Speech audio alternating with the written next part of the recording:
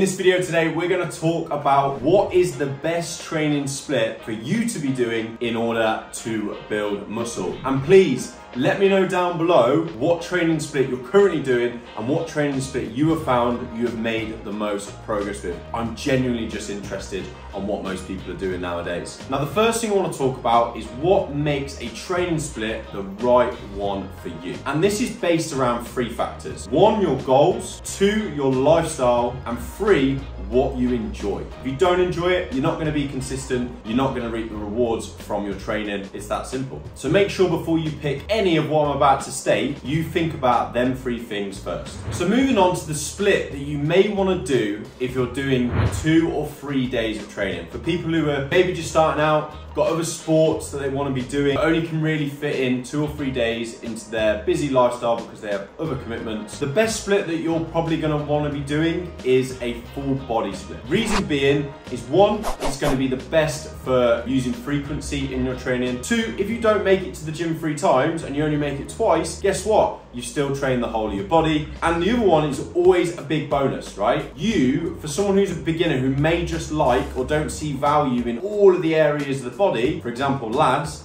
I know that you like to skip legs, doing a full body can be probably the best way for you to adhere to training. What I mean by that is if you do a little bit of legs a day, probably won't hate it as much. Your not, legs are not gonna be so sore you can't walk for a few days and you'll adhere to training better. Now, another reason a full body is gonna be useful if you're a beginner is because you would fatigue quickly. And by the fact that all you simply do one or two exercises on each body part, you are very much gonna find that you aren't going to be overly fatigued. Your body's not going to feel too sore to be able to go and carry out the other tasks you have in your life or play that sport that you need to practice for as well. And from my experience of training people and from just using it myself, I've seen far more, I would say gains and growth from doing a full body due to the simple fact that the volume is just spread out better and it's a lot better in terms of how can you progressively overload by the fact you don't get too fatigued.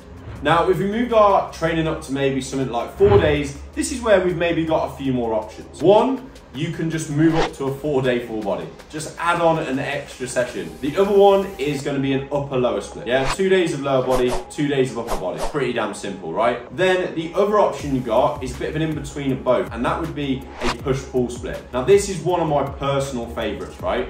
Because it feels like full body, even though you have got a bit of a separation from the fact you're doing push and pull. So on push day, you are gonna work the whole front of your body. Chest, shoulders, triceps, as well as your quads. Pull is pretty simple. It's the back of your body, your back, your hamstrings, your glutes, most pull movements. Now, most people haven't heard of that. That's why I explained it in a bit more detail, but it's one that I've always found super useful and I've currently been training it a lot myself recently uh, and I really do enjoy it. If you're looking to increase leg volume, and you're focusing on leg gains, upper lower is going to be the best one for you because you will have the most lower body volume. Okay, you'll be doing more sets on your legs than really any other split due to the fact you're doing two whole days on your leg. You're probably gonna see the most growth in your legs with that split. Now, if you're wanting to put more volume into the upper body, I would probably say to you go full body. Due to the fact you probably only do like two leg exercises a day, you're not gonna really do as much volume with that split, but you are gonna do way more volume probably on your upper body due to the fact you're gonna literally hit each muscle group every day and do that four times. Push pull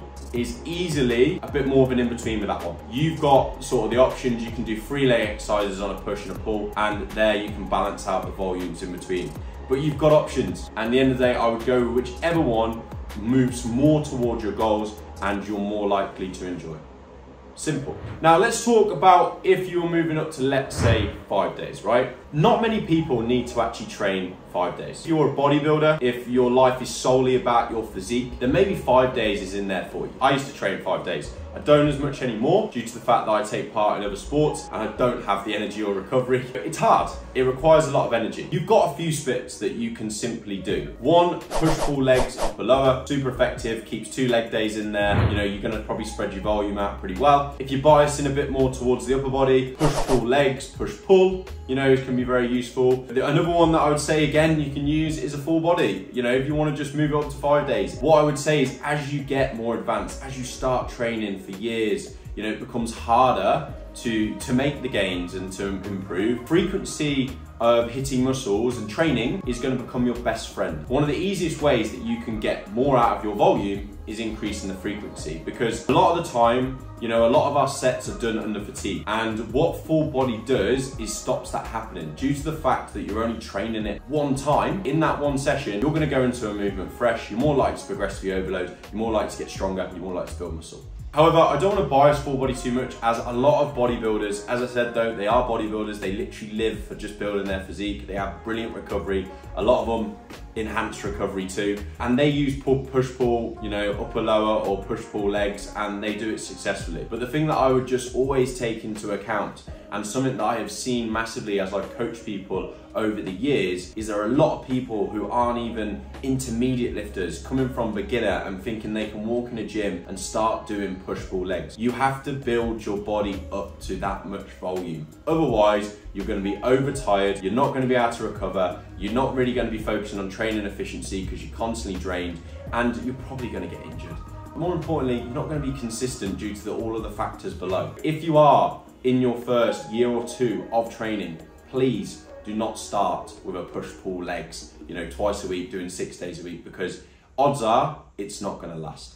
Now, one of the last things I wanted to touch on is something I haven't spoken about, but is still very popular, and that is the bro split. I am not that much of a fan of the bro split. For your beginners, it, it can be perfect because you'll probably reap the most rewards from it. As you get more advanced with your lifting, as I said, frequency is going to become your friend. It's probably not going to be as effective as it could be, you know, due to that fatigue ratio. And so this is why I would say to most people, don't bother doing a bro split. It's a bit outdated. There are far more things that you can be effective, far more things, far more splits that you can be effective with that are really going to help you get the most out of your training. And for the other people that are to be like, what about the Arnold split? What about all these other splits that a lot of bodybuilders use? If you're living in the gym five or six days a week and that is your sole life, to be honest, no matter what you do, you're probably going to get the most out of your training. But for a lot of people who are doing certain amount of days and got other things in their life, which is where they've got to be thinking about how can I be more effective? And that's when I would move away and look at what splits I've literally stated just before. Thanks again for watching another video. I hope it delivered. I hope you have a greater understanding now of what's really important when it comes to picking your training split, looking at really what the options are in terms of being effective. If you do like this video, make sure you drop it a like and if you want to see more videos from me, make sure you subscribe as, you know, it really does help me out. You know, I'm, I'm enjoying doing this longer form content. I can't wait to do more videos and just give you more information and more of the details that I find hard to include when I'm doing short form content all the time. So thank you very much once again. And remember, with your training split, don't be a dick.